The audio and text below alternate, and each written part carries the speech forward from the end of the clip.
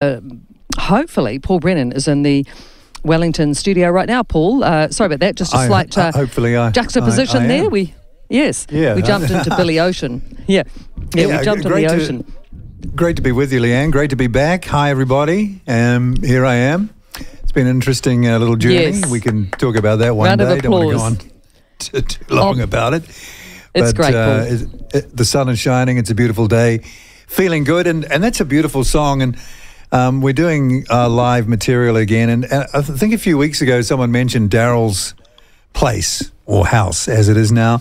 And that was a um, an online TV show started by Daryl Hall about five or six years ago, give or take. And uh, that's where he invites artists in, and uh, you know, and they just sort of jam and and do versions of songs, hit songs, Hall and Oates songs, and uh, the artist songs, as you, you just heard in that case uh, with Diane Birch.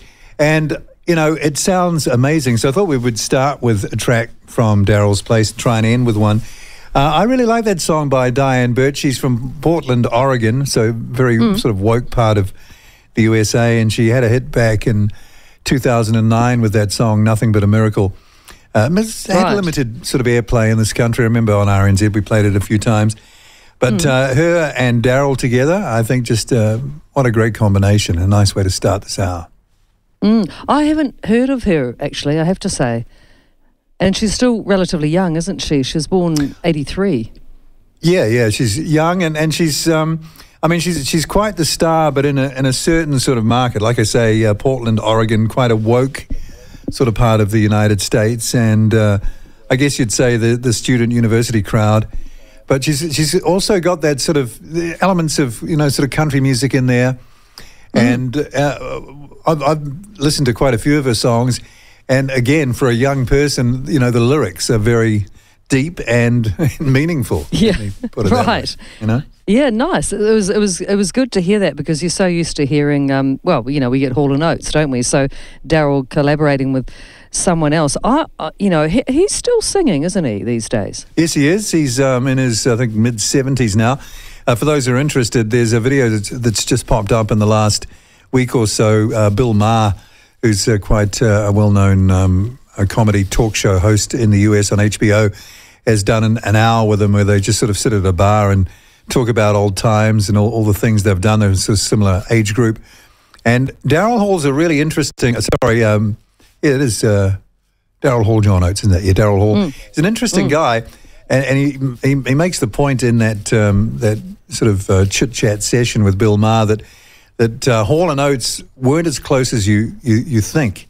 They more Right. were a business partnership rather than a creative partnership. Most of the songs that Hall and Oates had hits with, he wrote with um, one of his um, uh, ex-wives, uh, Daryl Hall. So, you know, it's interesting to you know, to hear the, the backstory over so many decades uh, sort of uh, um, come into more focus, uh, and it's more than you think. So, if people are interested, uh, seek out that interview. Bill Maher with uh, Daryl Hall. It's really interesting. Yeah, fantastic. Okay, well, thank you for that first track. Uh, it was it was a pretty uh, song and a nice kind of uh, slow way to ease into best of live because sometimes live can be pretty raucous. But next Can up, be, we've yeah. got it can be. Next up, we've got uh, a track from Billy Ocean. Oh, we're playing Billy Ocean next. Yeah. Well, this is um, uh, this. I've I've always been a fan of Billy Ocean. He's he's from Jamaica, of course, Kingston, Jamaica. Made it big in the UK. His first big hit was uh, "Love Really Hurts Without You," um, and he was very active through the '80s. He's a favourite in the UK. Uh, maybe he's even been knighted recently. I, I'm not sure. Could be wrong on that. But uh, this is a, um, a version of a song uh, that he had a hit with in the 80s that he did live on Channel 7 uh, in Australia uh, back in 2005. And, you know, he was getting on in age then. Incredible dreadlocks. Just incredible dreadlocks in the, Love in the, the, dreads. Yeah, yeah. The thing is, though, um, given his age, how long he's been, he's obviously looked after himself, how long he's been in the business, you know, it, it is just top of his game, is all I'd say. And okay, um, you, you have to you like ballads and sort of uh, uh, touchy feely songs, probably to, to really appreciate this, but it's a, a great example of a, a, song played with one guy singing with a guitar on network television in Australia. He just nails it beautifully. And that is his version, a live version of Suddenly, which we're about to hear. That's super special, Paul. Really lovely. He's pretty good. It's his own song. He's playing his own guitar and he's singing and he's in, into his 70s. He sounds just like he did when we first heard him in the early 70s. It's amazing the uh, mm. uh, longevity of some of these artists. And I guess that's what you get when you look after yourself. that's right. He's British. Uh, he's Britain's biggest black recording star. He sold over 30 million records, apparently. Yeah, he's huge, and uh, like I say, uh, you know, they he's uh, the Brits love him. Um, I remember mm. seeing a very um, funny thing with Noel Edmonds once uh, when they were out and about, and uh, uh, it was a trick that Noel Edmonds, who lives in New Zealand now, um, played on him where right. uh, they were walking down the, uh, I think the um, Brighton or Blackpool or something, and people were coming up and they were mm. asking constantly for Noel's autographs, but not, not mm. Billy's. Not Billy couldn't quite Billy. work out what was going on. hey, hey, I'm the star here. I'm the star. yeah. So yeah, and he's had some, he's, he's, yeah, he's had some great. Uh, it was a setup, of course, but yeah, so uh, nice to hear that live on Channel Seven Breakfast TV back in uh, 2000. Did I say 05? I think quite a way back. Uh, so yeah. you know, uh, even now he's he's older still. He'll be pushing 80 soon. That's right. He will be. I love that song of his, Red Light. Do you remember that one? Red light spells danger. Spells danger. Yes, I, I do. Love that song. Yeah, yeah. Mm. Red uh, light spells danger. Yeah. Can't hold one. back no longer. Yep. That's right. And Love Really Hurts Without You, When the Going Gets Tough, you know, all of those great yep. songs. Caribbean Queen. The Colour of Love. Yeah, yeah. Yeah. Get, get out of my uh, car and into my dreams or whatever. Into my dreams. Yeah, that's right. Yeah. uh, yeah. Shane and I were trying to work out that whether it was get out of my dreams and into my car or the other way around. But no, he's he's a great artist, and uh, I mean he yep. Yeah, he, he sold a lot of records, and uh, but he did sound very, very nice. Good, good choice, and and that particular version live on Australian telly, which which wouldn't be an easy environment to to really feel your song, would it? You know, in many ways. No, because it, it's it's so set up, isn't it? And you know, it's like mm. go now, start, and you've only got a you know a, a, certain amount of time, you know, that's very tightly controlled to to do the performance in, and and you want to get it right. You know, you want you want to nail yeah. it, and he he certainly did. Mm. Mm, oh, just beautiful. Now this next song. Well, I've got uh, Joe Walsh next. Does that yep. does that compute with your order? Very good. Yes, it does. Okay. Joe Walsh. Good. Yeah. That, that's good. Uh, of course, the Eagles guitarist, uh, but this is him yep. Uh, from from very early days, isn't it? Yeah, when he was uh, part of the James Gang in the late '60s, early '70s, was where he, he got his start. I actually met Joe Walsh once, and it was very uh, fleeting, but very interesting and entertaining. He was uh, in New Zealand. It would have been in oh the late '80s uh, for a show. I think he was here under his own name, and he came in. I was the producer of the breakfast show uh, at that point on the ZM station in Wellington, and he came in for an interview, and he turned up um, at about a quarter to eight in the morning so hype it up. You, you, you wouldn't believe the energy. You know, you can almost feel the force of nature coming through the door. Um, right. he, he, sort of he was wearing these sort of weird pants with uh, stars and sort of moon graphics on them, no mm. shoes, and this sort of tie dyed shirt with this hair everywhere, and it's hi, how you doing? It was all like that, and yeah. it, it, it, was so hyper. He went in, and it was very entertaining. Uh, um, on for about ten minutes uh, shook everybody's hand, and then just like a whirlwind just left. And I've never forgotten that. It was only, you know, 10 minutes, 15 minutes in the presence mm. of Joe Walsh, but uh, I'll never forget it. Um, of course, he settled down a hell of a lot uh, since then, those sort of wild mm. days, given up all the alcohol, all the drugs, happily married, I think, to um, George Harrison's uh, wife's sister. So, or is it Ringo Starr? That's no, right. Ringo Starr's wife's sister. So they're related. Yeah, it's Ringo, so, isn't Ringo, it? That's right. Yeah, Ringo went to hospital, I think, a couple of days ago. So I hope yeah. he's okay. They've had to sort of um, uh, put on halt the uh, All Star uh, band tour in the states. Mm. But this is uh, uh, this is from the Crossroads Guitar Festival, big festival, uh, back in 2004. The bass player is Duck Dunn. If you want to look him up, you'll see that he's been okay. everywhere. He's the late Duck Dunn. And um, this is the um, the live version that they did at that uh, guitar festival of the James Gang song Funk 49. And I think you'll really enjoy it. It's a great Joe Walsh live uh, Funk 49, Paul, which is a great song. He, he, it's a different treatment, isn't it? Yeah, I love the way they sort of uh, the guitarists talk to each other through it. You know, the you'll play one little bit, and then the the other. Uh, I don't know who the on bass I mentioned was uh, Duck Dunn. I, I, didn't look into who the other guitarist was, the rhythm guitarist, but they sort of have this exchange. You know, like they're talking to each other through their guitars through that track, which I think is quite entertaining. Um, but um, such a cool, eh, eh, you know, it's a funky track. Mm. It's been, always been one of my favourites, and I love the way Joe says something like, uh, "Ooh, that's nice," halfway through the song. yeah, he's a great entertainer, Joe Walsh, and incredible yeah. player.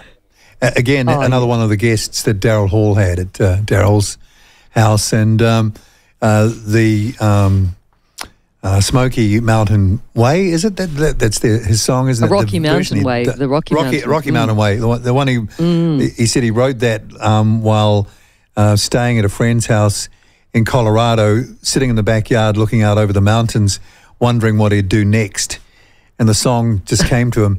Um, but uh, the version that him and Daryl do in in that particular performance is amazing as well. Just mm. harking back to the first track that we had.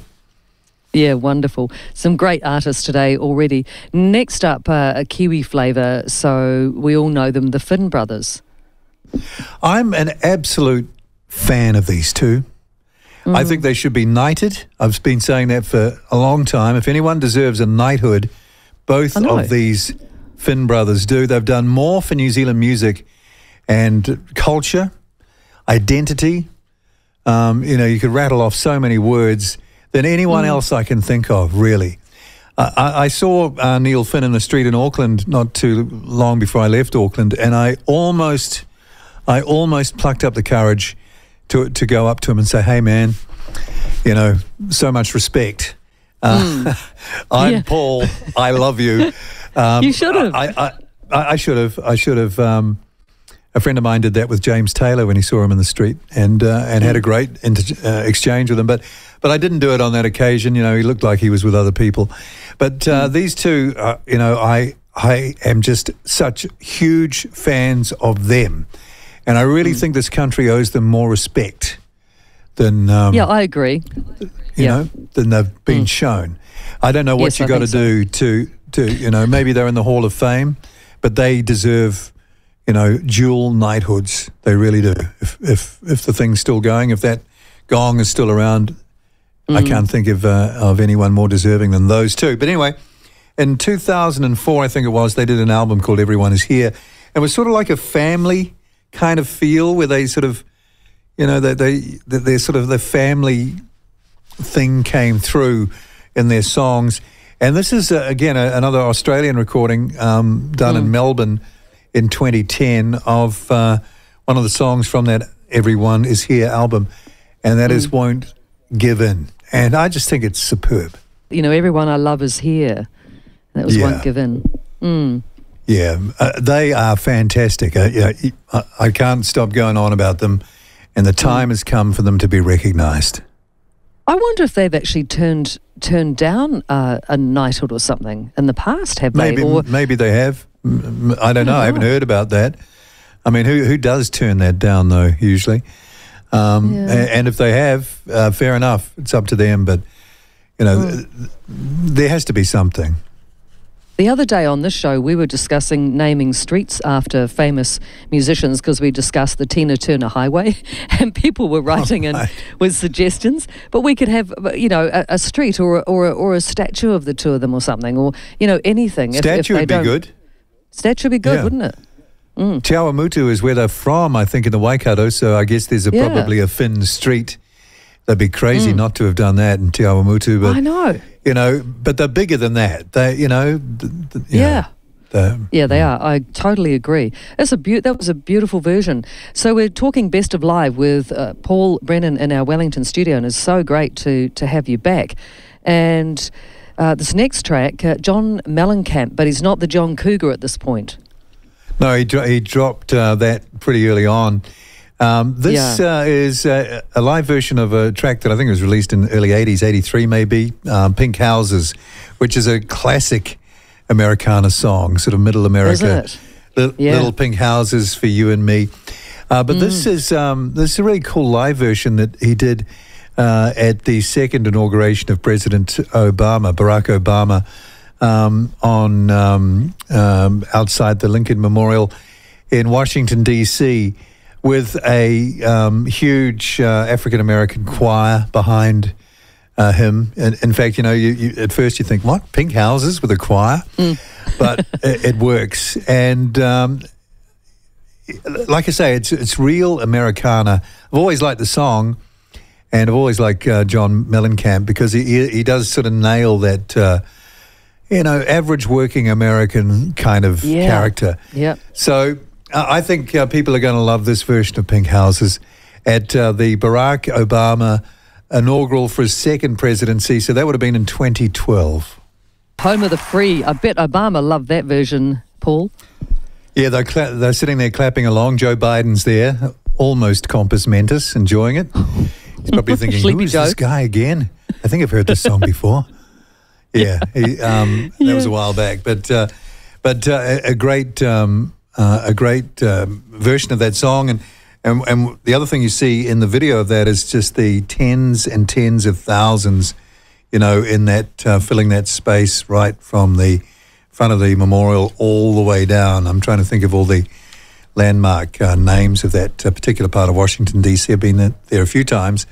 Oh, you have? But uh, it's absolutely, absolutely packed. Yeah, it's uh, Hmm. Uh, just over the road is where all the homeless are, but you don't see them. no, of course you don't. Tucked Got to away. swing the camera around Yes. for that. Yeah. Anyway, Oh, so pink out. houses. Hey, love the backing uh, vocals on that too. Very strong, gospely sound. Fantastic. Oh yeah, yeah, and that gospel comes through a lot in uh, American rock. You know, y- obviously there's the um, African American soul music uh, and, and the blues and all of that, but quite often it you, you see it cropping up in in straight rock as well. I think it works really well.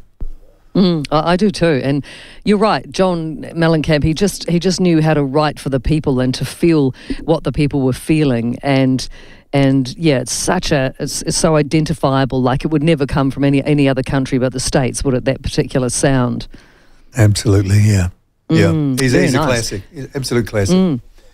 Now we're moving All to uh, we're a bit of a departure now, aren't we? Uh, so I think you should pop on your cowboy hats and. Um, and get your line dancing kit out. We've got uh, Harris, Well, Parton, and Ronstadt. No, I know. I'm, I'm being silly. Yeah, yeah. Um, th- this is, um, I, I first came across this years and years ago. Um, it's from a 1999 late show, David Letterman. We, remember, recently we played, I think, an OJ song that was done live on the late show when Letterman was uh, hosting it. Um, he, of course, he wound up a few years ago. This is from 1999, and uh, this is when Emmylou Harris, Dolly Parton, and Linda Ronstadt came on stage of the Ed Sullivan Theatre to perform the it's a Neil Young song, isn't it? After the Gold Rush, and Yeah, the interesting thing about I mean, the, the voices are heavenly, Mm-hmm. as you will hear. There's no other way to describe it. Very touching to listen to, but also there's this very interesting instrument. I think it's called a a, a, a glass slide guitar, and it's a glass cylinder. It was invented by Thomas Edison, Right. and it's a glass cylinder that rotates, and whoever's playing it can place their sort of fingers of their hands at certain parts of the cylinder, which is a, a sort of like this sort of cone shape uh, from one end to the other, and they can sort of play it like a slide guitar, but it has obviously a different sound to a slide guitar. It's more like you know when you you you- get a glass and you sort of um, uh, rotate your, your finger around the top of the glass and you sort of get that vibration sound. So but it's like that, and it, it's a very mystical sound, and it just goes so well with their voices. But this is really say no more. Let's play it. This is just angelic stuff. Emmylou Harris, Dolly Parton, Linda Ronstadt with the Neil Young song "After the Gold Rush" live on the Letterman Show. That would have been so amazing to see. It's funny, Paul, because I'm a massive fan of these three, and I had their album Trio, and I- just think Yeah. you couldn't beat those harmonies anywhere in the world, could you? with anyone. No, and uh, uh, if you're listening there, you're, you're, trying to sort of second guess who's doing what. Obviously, Dolly's lead I was doing singer that. there, but mm-hmm. yeah, um, I think Linda Ronstadt is the very high harmony, and um, and Emmylou sort of. Um, I, I, guess you call them what the middle harmony. I, am not really sure the mm. ex- expressions there, but mm. but it's just so beautiful.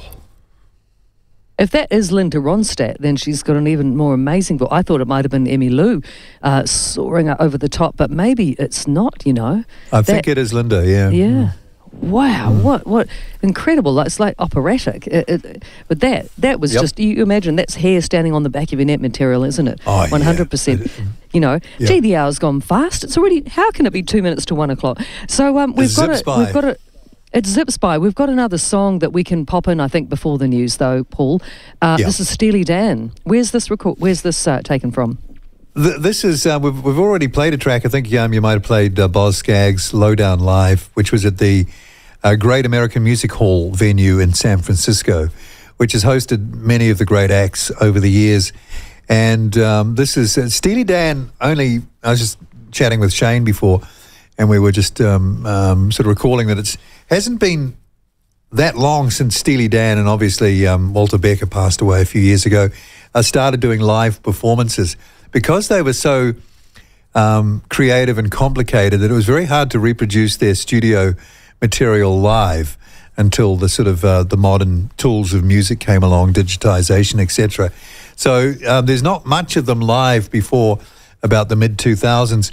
This is from 2005, and um, uh, uh, one of, uh, I guess, uh, everybody's Steely Dan favourites, Kid Charlemagne, with Larry Carlton on the lead guitar. And it really is just such a great version of the song. Listen, if you're not familiar with the lyrics of the song, have a listen because it tells such an incredible story. Um, multicolor psychedelic motorhomes, and uh, is there gas in the car? And put those scales away, and it's all uh, based yeah. around the you know the discovery basically of LSD and the guy I forget the guy's name who mm. invented LSD. But um, uh, Kid Charlemagne's great song, great live version, and a good one to go out on. And it's great to be back. Leanne, oh, it's so, so lovely, so lovely to have you back, Paul, and well done. You, you're an absolute champion because uh, you've been through quite an ordeal, and you sound fantastic. So, good on you. And we're we're just going to forget about news for five minutes, okay? I'm sorry, but yeah.